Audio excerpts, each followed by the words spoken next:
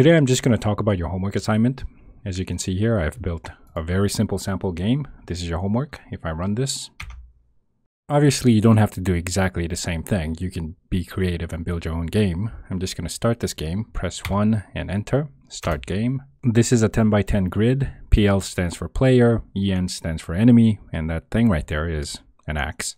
And I can move around the player, E as in east, S as in south, north as in north. You know, it's a very simple grid and a simple movement scheme.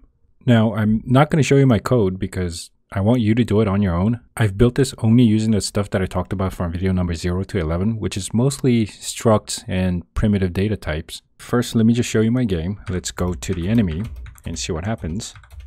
I'm going to step into the same grid as the enemy, go south from here you see a scary looking enemy, you can either hit him or say hello. I'm going to be nice. I'm going to say hello. Two, enter. The enemy is angry. He's attacking me. I'm going to hit him back. One, enter. And you can now see that both of the HPs are going down. I'm going to attack him a couple more times. I'm almost dead. If I hit him one more time, he's going to attack back. I'm dead. From here, you can repeat the game loop, which is just a while loop, or you can press 2 and quit. And again, these are stuff that I talked about, for loops, while loops, if statements, C in, C out, structs, and data types. Now I'm going to return to main menu, start the game again. This time I'm going to go towards the axe. You see a $500 axe on the ground. I'm going to press 1, enter, pick it up. You pick up the axe, you feel better about yourself. Now I'm going to go towards the enemy. Now that I have the axe, I should have the upper hand this time. One, hit enemy. I'm to keep hitting him.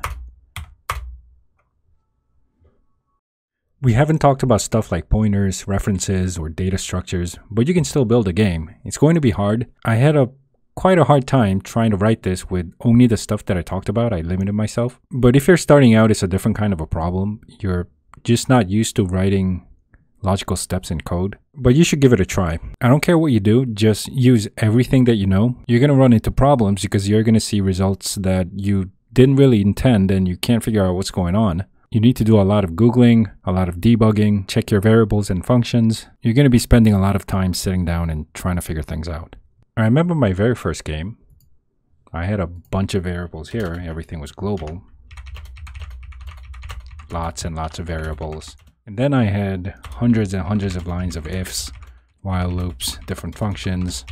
But again, I don't care what you do. I don't care how ugly your code is, at least for now. The first step to coding is to start coding. Be creative, have fun, and come up with your first game using texts and symbols in your first console window.